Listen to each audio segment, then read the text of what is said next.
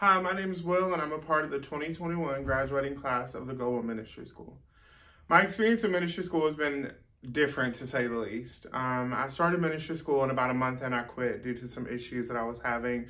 Wasn't really prepared for it, didn't really, you know, have the time or want to do it.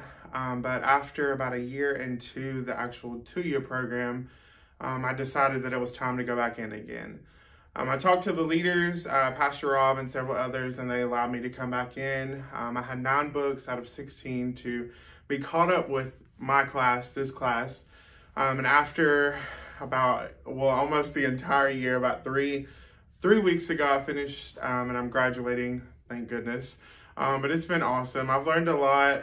Um, I learned about different religions and cultures, how to become a leader and minister to others, how to equip yourself, and to correct knowledge before helping someone, um, whether that be praying for healing or spiritual warfare or anything like that, and also how to deal with your own testimony.